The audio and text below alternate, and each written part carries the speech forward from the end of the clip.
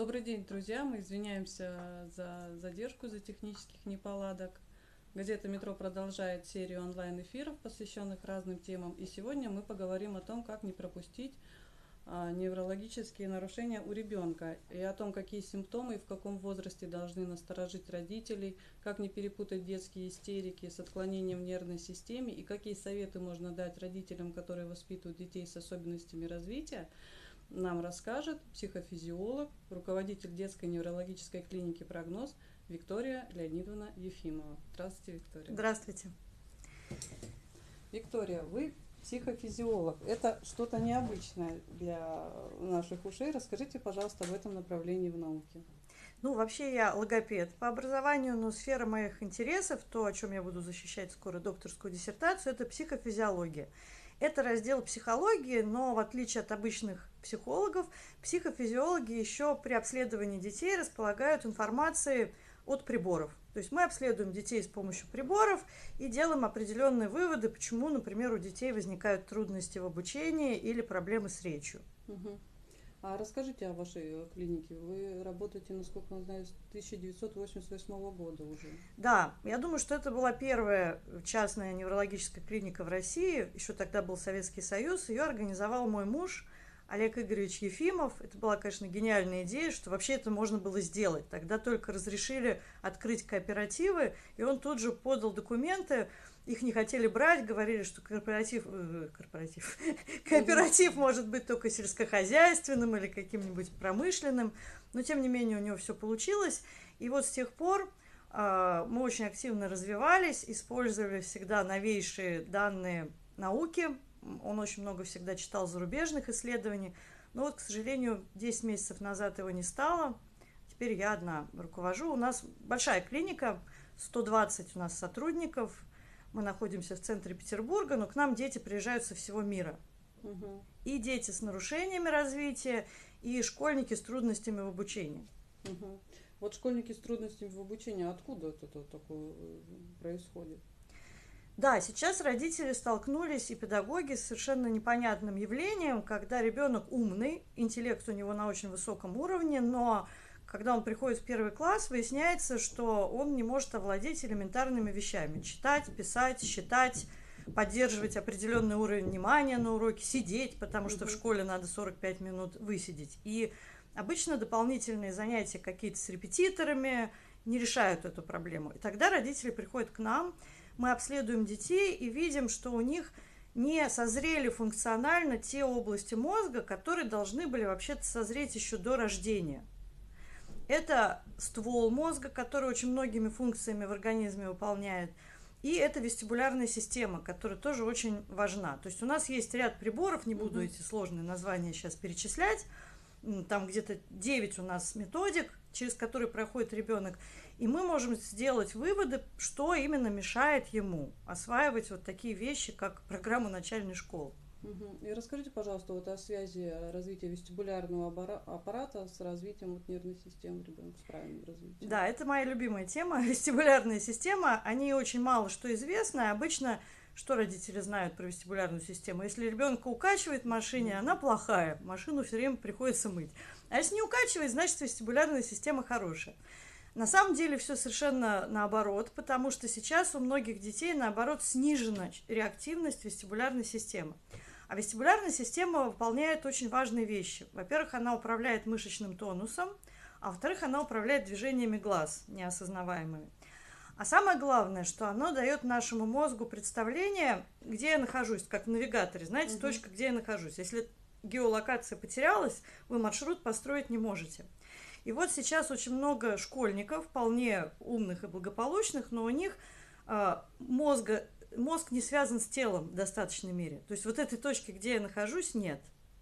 Поэтому вот лево, право, как там слова расположены на странице, угу. числовой ряд, все это совершенно через огромные волевые усилия ребенку приходится делать, потому что у него в голове все время вот этот маршрут перестраивается. И с чем связано вот э, вестибулярный аппарат, когда развит неправильно? Ну, мы считаем, что это связано с недостатком движения. И в первую очередь, поскольку это все развивается еще до рождения, то это даже недостаток движений будущей мамы. потому что, ну, у нас считается, что беременность это такой процесс, что надо полежать, надо отдохнуть. Угу. Ну, конечно, бывают какие-то медицинские показания для этого, если уж приходится лежать на сохранении, ничего не поделать. Но если все идет нормально, надо обязательно много ходить. Это самое жить нормально. безопасно. Самое это... безопасное, да, не надо там даже, если вы никогда не занимались йогой, не надо начинать в период беременности, может быть. Но просто много ходить, вот эти пресловутые там 10 тысяч шагов, которые всем рекомендуются, это профилактика, в том числе и каких-то проблем в развитии ребенка будущего. То есть можно говорить о неком каком кислородном голодании, да, которое может быть? Во-первых, кислородное голодание. Во-вторых, э, ну, ребенок, когда он находится в матке, он находится в жидкости. Угу. Вестибулярная система у него уже работает. А вестибулярная система активируется ну, механически, когда мы там совершаем какие-то движения головой и когда действует гравитация. Соответственно, мама своими движениями кормит вестибулярную систему ребенка, что угу. очень важно. И на самом деле это даже помогает ребенку правильно родиться. Потому что что делает ребенок перед тем, как родиться внутри? Переворачивается. Переворачивается. Откуда он там внутри знает вообще, где низ? Ему подсказывает вестибулярная система. И когда для этого она уже работает, ребенок занимает правильную позицию, он складывает ручки, ножки, и все ругают врачей за то, что сейчас очень много детей с родовыми травмами, там, с нарушениями. Действительно, сейчас рождается только 6% детей без неврологической патологии. Но на самом-то деле, если мы подумаем вот в эту сторону, что вестибулярная система, допустим, была незрелая, ребенок не повернулся, или он там как-то в какой-то был позе неудобной для рождения. Вот вам родовая травма. Угу. А кисарята, называемые? А, тоже плохо, потому что все должно идти естественным путем. Тоже я сейчас не буду там долго углубляться в эту тему, но даже на уровне биохимии и в мозге мамы, и в мозге ребенка, пока ребенок идет по родовым путям, происходят очень важные вещи и для формирования привязанности, и для развития. Ну, опять же, если есть медицинские показания, ну, не надо там особо думать на эту тему, угу. надо и надо. Но если мама просто это делает для того, чтобы как-то себе облегчить ситуацию, наверное, это рискованно и не стоит так делать. Не стоит так делать.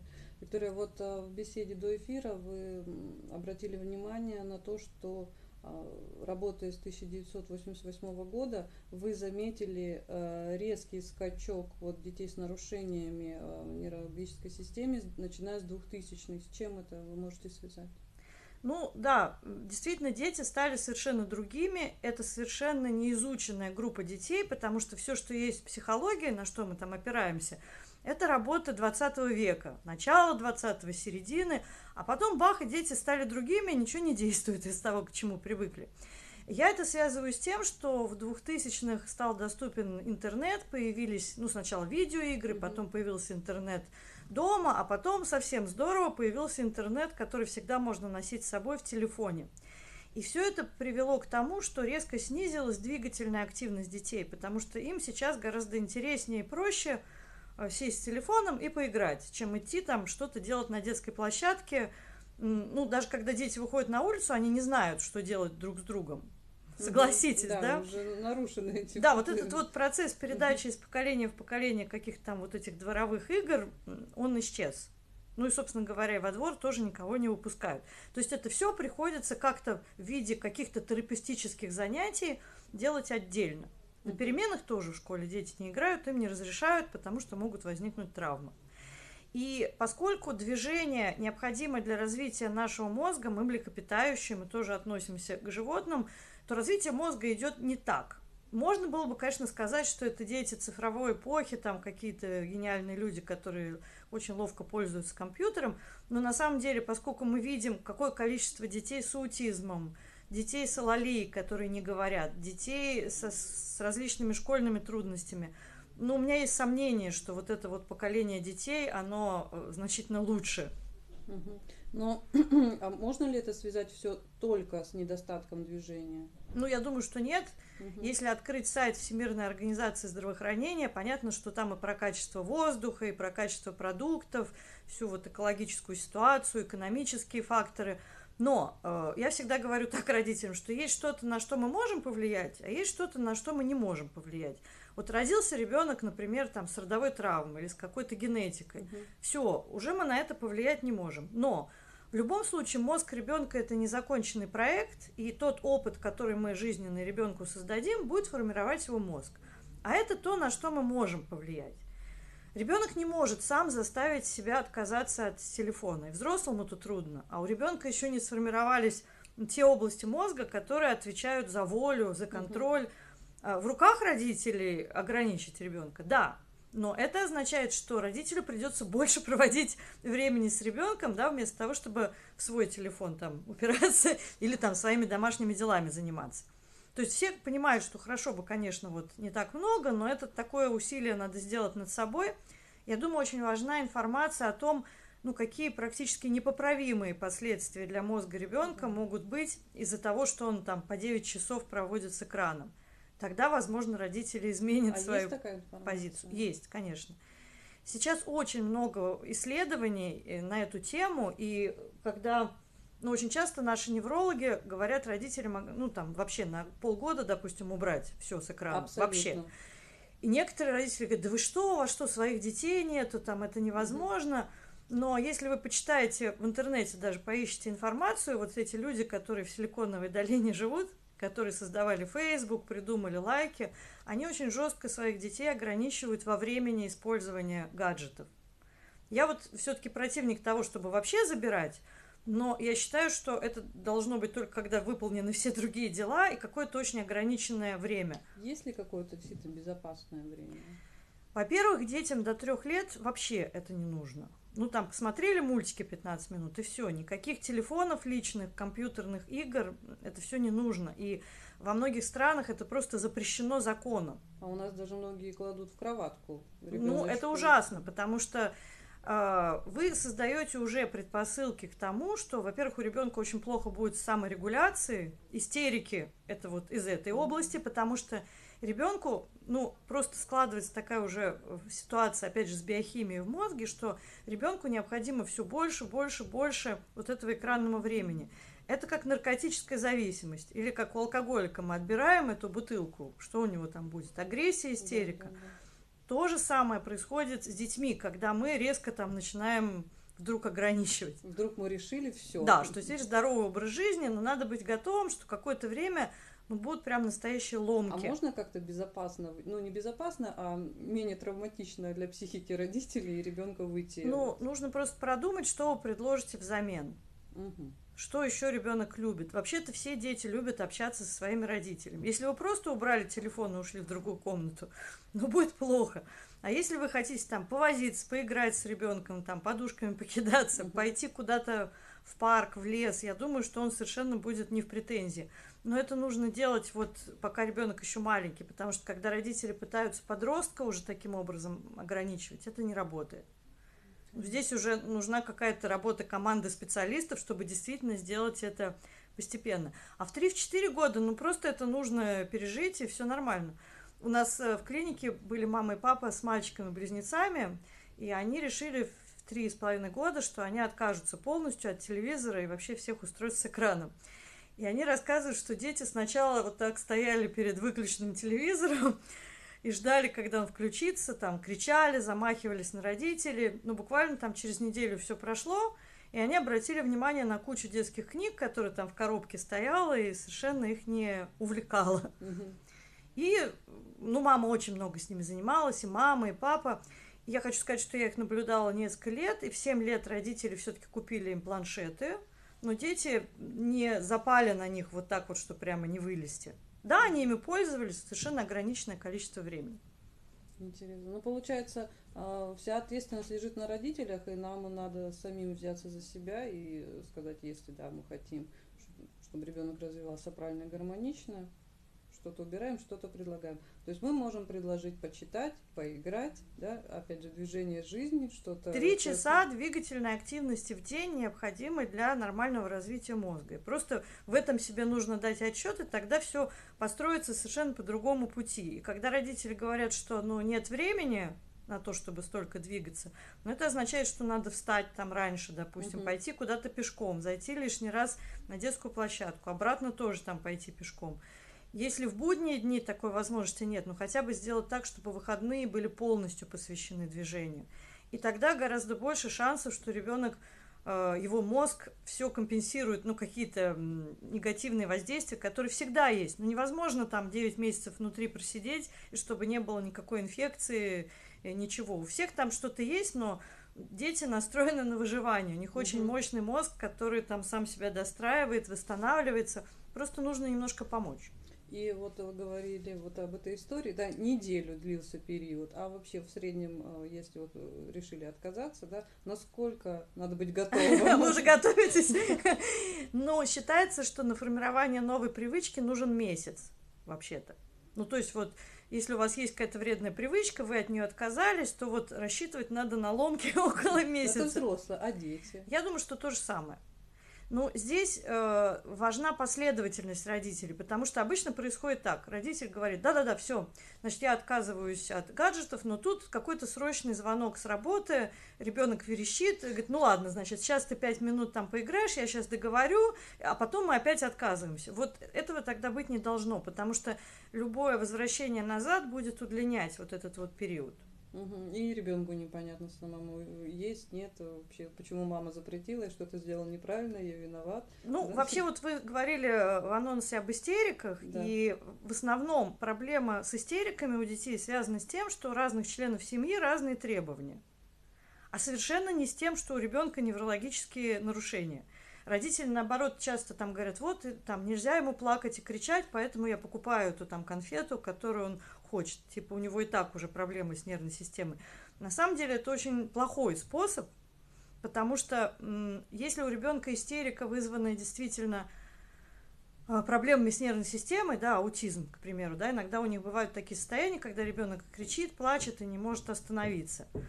А истерика, которая вот чаще всего встречается, когда он получил конфету, слезы тут же высыхают, и все вопросы сняты. Вот это вот граница между неврологическими нарушениями и все-таки тем, с чем должен поработать психолог с родителями, объяснив, как перейти от этих истерик к нормальному взаимодействию. И опять же, по нашим наблюдениям, около месяца выполнения рекомендаций психолога дают хороший результат, истерики уходят из жизни. Если все члены семьи договорились об одинаковых правилах и предъявляют одинаковые требования к ребенку.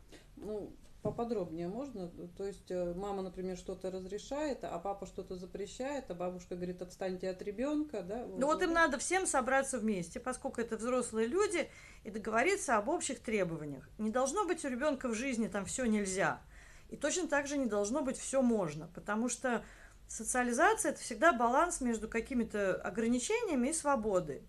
Поэтому у ребенка должны быть очень четкие представления, что совершенно точно нельзя никогда, а что можно. Ну, там, я не знаю, в грязной обуви заходить в квартиру, если мама разрешает, а папа не разрешает, угу. то будет истерика. Если все четко говорят, что нет, у нас такое правило, что там это нельзя, или что через дорогу нужно идти за руку. И я вам хочу сказать, что даже очень сложных поведений детей – с тем же аутизмом, родители, если действуют последовательно, к определенным правилам успешно приручают. Приучают, ничего нет невозможного. Угу. А если ребенок э, постоянно вот капризит, вот хнычет, вот э, любое невыполнение его желания, не истерика, а вот ну, хныканье, слезы на показ, это манипуляция, да? Ну, здесь нужно разбираться, вот так однозначно, здесь нужно понаблюдать за поведением, нужно угу. посмотреть, что происходит до, как он захныкал, что происходит после, потому что иногда это бывает такой сложный комплекс, да, и из неврологии, и из каких-то поведенческих вещей. Просто как раз родители чаще всего беспокоят моменты, когда ребенок чем-то, ну, родительскую жизнь нарушает. Mm-hmm. Либо он плохо спит, либо он капризничает, либо он там кричит. Но на самом деле в группе риска дети очень тихие. Да. которые не, не доставляют родителям никаких хлопот. Вы абсолютно серьезно говорите? Я абсолютно серьезно. Вот если мы говорим о младенцах, то, ну, все знают, что аутизм диагноз ставится где-то в три года, да, и родители говорят, да у нас все нормально было, вот мы только забеспокоились, когда там не заговорил. А дальше начинаешь отматывать назад. Ребенок там в куку не играл, почти не плакал, там ему палец прищемит, не заметит. Идеальный ребенок лежит тихенький, ни на что не реагирует, никто не волнуется. Ребенок должен доставлять родителям беспокойство, потому что, э, ну, иначе бы дети не выжили, да? Что делает ребенок, когда там хочет есть? Кричит. Когда у него дискомфорт? Кричит. Когда ему больно? Кричит. Постепенно этот крик заменяется на другие способы общения. Взгляды, улыбки. То есть он иногда кричит, а иногда там улыбается и гулит. А есть дети, которых вот ровно, ничего не происходит. Ну и все родители думают, ну такой характер, нам очень повезло. У нас спокойный ребенок, вот если бы кричал, нужно было идти к неврологу. А вот с таким ребенком совершенно точно нужно идти и разбираться. Вот как раз таки это и должно насторожить. Это должно насторожить, когда ребенок никогда не кричит, редко улыбается, не взаимодействует с вами, потому что, ну как мы там с ребенком агу, ребенок там агу, взрослый агу гу гу, и вот этот вот диалог без слов может продолжаться минут пять. А есть дети, у которых этого нет. Это вот мы говорим сейчас о детях до года. Мы говорим сейчас о детях до года. Игра в куку, ну, когда вот мы там прячемся угу. и появляемся, это вообще предсказатель речевого развития. Если ребенок в куку играть не хочет, это тоже надо хватать и бежать. Очень важный момент – это указательный жест. Он должен сформироваться до года, то есть 12 месяцев это он должен уже быть, когда ребенок вот показывает пальцем. Причем он показывает пальцем не только то, что он хочет, чтобы ему дали, он таким образом привлекает к себе внимание родителей. Он на самолет может показать. Понятно, что он не просит дать самолет или ворону. Тоже сейчас очень много детей, у которых нет указательного жеста. Почему это важно? Потому что э, раз есть указательный жест, значит ребенок вас зовет во взаимодействие с собой. А речь зачем нужна ребенку? Не для того, чтобы читать там большую советскую энциклопедию или вслух, для того, чтобы взаимодействовать, решая какие-то свои задачи. Если у ребенка нет указательного жеста, значит, тут может быть или умственная отсталость, что он вообще не дифференцирует предметы, не может их выделить из ряда, либо с интеллектом все хорошо, но ребенок не знает, как взаимодействовать с другими людьми. Это уже аутизм, да? Признаки? Ну, да, это один из признаков аутизма, но опять же в год трудно еще об этом судить, мы только можем видеть факторы риска, как называют красные флажки, угу. и опять же уже начинать действовать, потому что вот тоже с аутизмом, чем раньше мы начали, тем лучше потом в дальнейшем будет жизнь у ребенка, даже если это действительно аутизм. А может быть его и нет, и тогда все наши действия приводят к тому, что дальше вообще все прекрасно. Угу. Это мы говорим о детях до года. А потом какие симптомы должны насторожить родителей? А, тут тоже идет такая двойная тема. Например, должны насторожить э, моменты, когда ребенок с трудом осваивает навыки самообслуживания. Туалет, еда, одевание. Но если его никто этому не учит, к примеру, да, то они не будут формироваться. То есть тут надо каждый раз разбираться, что делают родители, что делает ребенок. Ну, сейчас, например, тоже очень много детей с проблемами с речевым аппаратом, которые выражаются в проблемы в речи. Но очень часто это дети, которых чуть ли не до школы кормят питанием детским из баночек. Это же очень удобно, там уже все готовое, протертое, все полезное, да, нам говорят, что там никаких пестицидов. Но, опять же, ребенок должен получать ощущение, определенный массаж во рту, откусывая там от целого яблока, грызя там какие-то сухарики. Ну, то есть вот э, поедая нормальную еду взрослых людей. Это тоже определенный этап развития, который важен для речи. Но здесь идет такая цепочка. Если у ребенка слабый ствол, ему трудно жевать, значит, он будет отказываться. Родителям надо накормить, значит, это будет банка. Потом пропускается какой-то момент, когда вообще-то надо было уже добавить какие-то кусочки, и часто к нам приводят детей ну, уже лет в 5-6, когда нам нужно совместно неврологам, психологам разрабатывать какую-то программу, чтобы ребенок ел что-то, кроме там пюрированной пищи. Опять же, ну, тут, конечно, разные факторы, но родители пропустили какой-то момент, когда уже надо было что-то сделать. Угу. То есть навыки самообслуживания. Дети, которые не любят слушать книжки, тоже это подозрительно. Но, опять же, если им никогда не предлагали, все время пихали телефон, это вполне объяснимо, и тут никакой нет патологии. Но если родители пытаются читать, пытаются рассказывать, ребенок там все отодвигает, не слушает, не рассматривает, это должно навести на мысли о том, что что-то идет не так. По поводу речи тоже ничего не изменилось. Полтора года уже у ребенка должно быть минимум 10 слов. Два года фразовая речь. Здесь все дело несколько путают у нас педиатры, врачи в поликлинике, которые говорят, что до пяти лет не нужно волноваться. Можно, конечно, не волноваться, это выбирает каждый, но поскольку я вижу очень много тяжелых детей, когда ребенок не заговорил в 6 лет, в 7 лет, вот представьте, вообще ни слова. А им до пяти лет говорили не волноваться. Да? уже очень трудно что-то сделать, потому что я сказала, что мозг ребенка пластичен, он способен изменяться, но не до бесконечности. Есть так называемые сензитивные периоды, это окна развития, когда мозг ну, наиболее предрасположен к тому, чтобы что-то произошло. И вот для речи это до 6 лет, но все самые главные события происходят в первые 12 месяцев.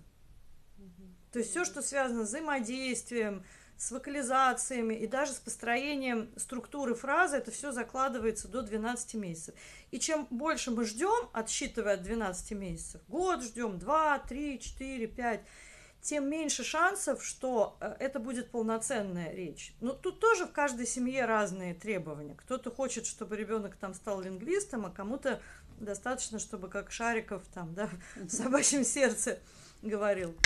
Ну, говорят же, ну, ну вот все разные, все развиваются по-разному. Педиатры так зачастую утешают родителей, да, не волнуйтесь. А вот э, даже, ну, я слышала до трех лет, если не заговорил, ничего страшного. Но если не заговорил до трех лет, а в три вы все-таки пошли, это уже поздно или еще? Это нет? гораздо лучше, чем в пять. Лучше, вот как только возникли сомнения, лучше пойти. Угу. Пусть лучше, э, ну, что вы потеряете в том случае, если сомнения ваши были необоснованы? Ну, там время, какое-то количество денег. Но зато это будет уже важная информация о том, что происходит с мозгом ребенка, на какой сейчас, на каком он этапе развития. Потому что родители боятся неврологов. Я по всей стране езжу и читаю семинары для логопедов, и всегда логопеды спрашивают, а как родителям сказать, что им нужно к неврологу? Потому что они всегда, э, ну, вы что хотите сказать, что у меня ненормальный ребенок, угу. вы что там меня отправляете? То есть это всегда страх, что там какой-то, ну, прямо что-то ужасное произойдет. Ну, неврологи, конечно, бывают разные. В том ключе, в котором мы работаем, это просто оценка, где вы сейчас находитесь, где находится развитие мозга ребенка, как помочь. Потому что помочь можно всегда. Угу.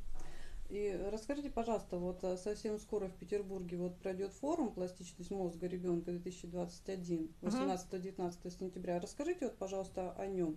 Вот там будут же освещаться, да, вот все эти вопросы?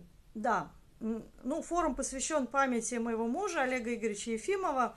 И основная идея нашей клиники была в том, чтобы соединить науку вот сразу с родителями и с теми людьми, которые занимаются с детьми.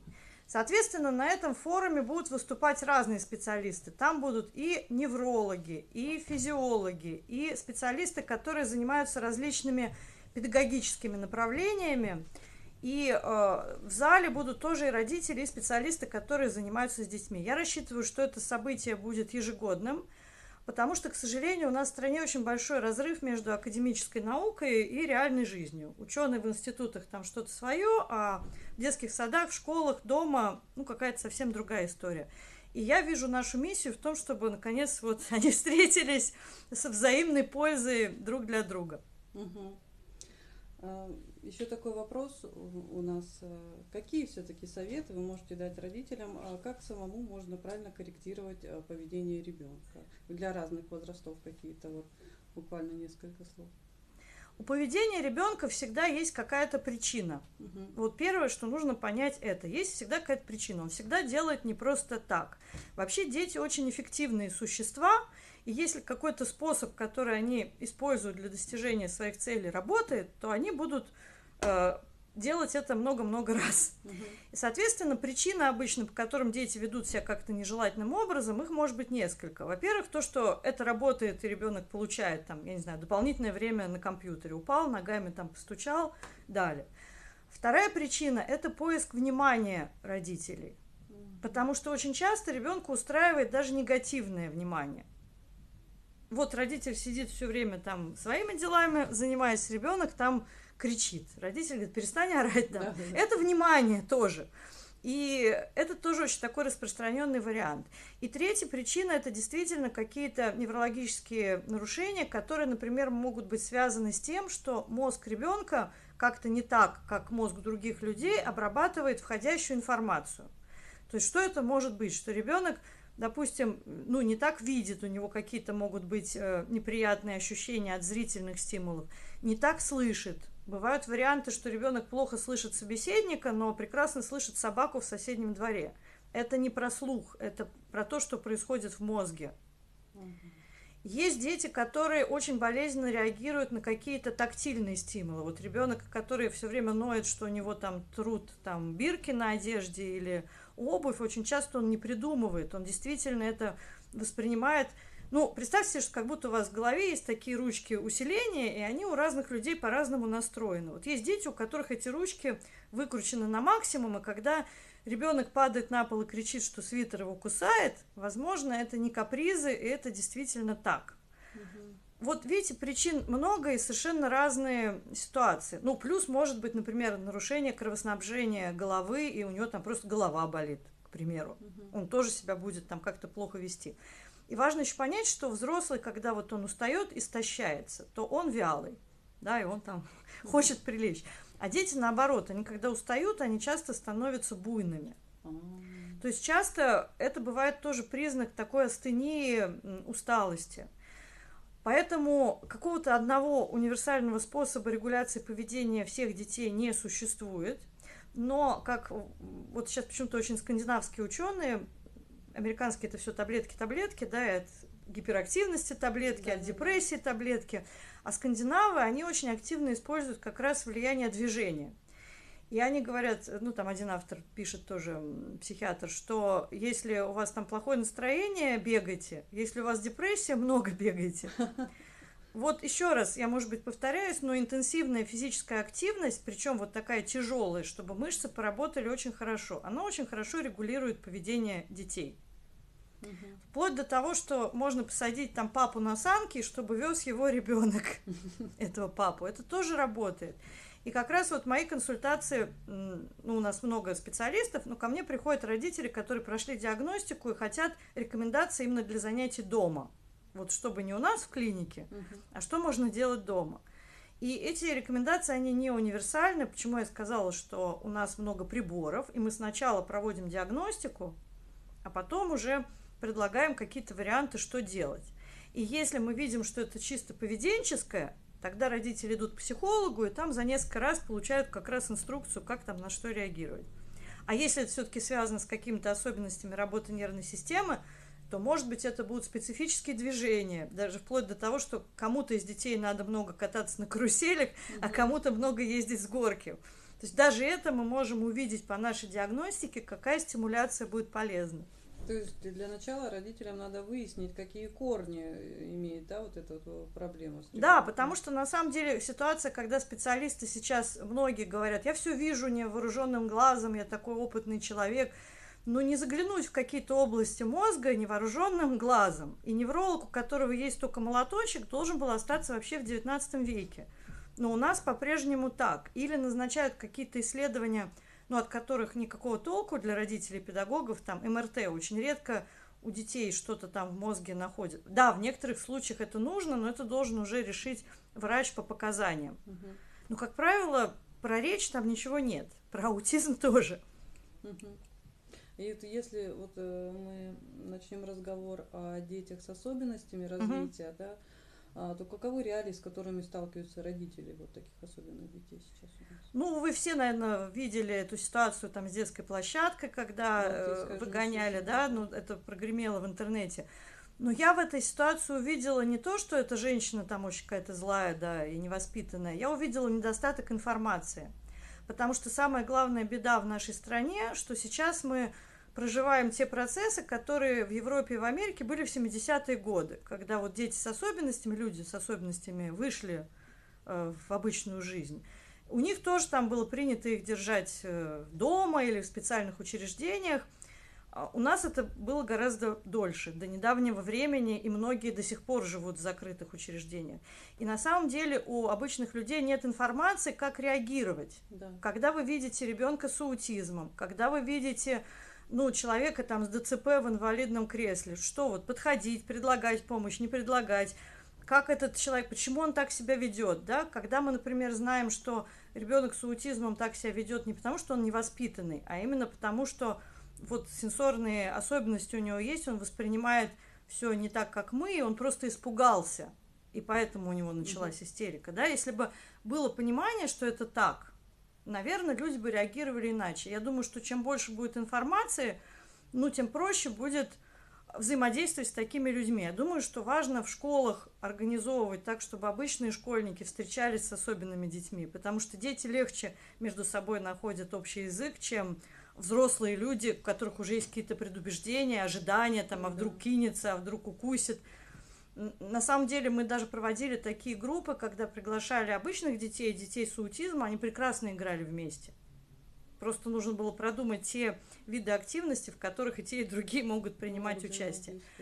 Поэтому все решит время, и очень важно, чтобы средства массовой информации тоже не только говорили о каких-то там ужасах, что вот там тут обидели этого, выгнали из бассейна, выгнали из детской площадки, а рассказывали о каких-то позитивных моментах, что вот получилось. Вот собрались там вместе обычные дети там с какими-нибудь детьми особенными, и вот там они там сделали какой-то общий проект. И что это возможно.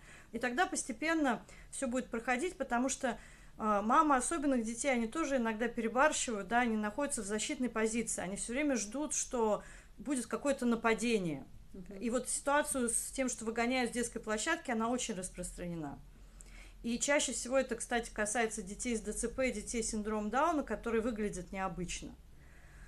Но это в головах у родителей. Это не о детях. А вот с аутизмом проблема другая. Ну, как говорят, что это инвалидность, которая не видна невооруженным глазом, потому что дети с аутизмом, они очень часто очень красивые, и кажется, что это просто распущенный до ужаса ребенок, которого родители не воспитывают, а на самом деле все гораздо сложнее. И э, возвращаясь вот к этой ситуации в Балтийской жемчужине, да, мы тоже увидели, что бабушка-то она была испугана. Она испугалась, да, за своего ребенка, потому что это один из устойчивых мифов таких, да, что у нее в голове непонятно, э, может там и кинется, и все. Вот э, раз у нас есть такая возможность сейчас озвучить самые распространенные мифы и развенчать их, давайте это сделаем. О, о каких нарушениях вот, именно? Именно вот э, дети с аутизмом. Ну, вообще самый распространенный миф среди родителей, что их ребенок может начать повторять за особенным ребенком что-то.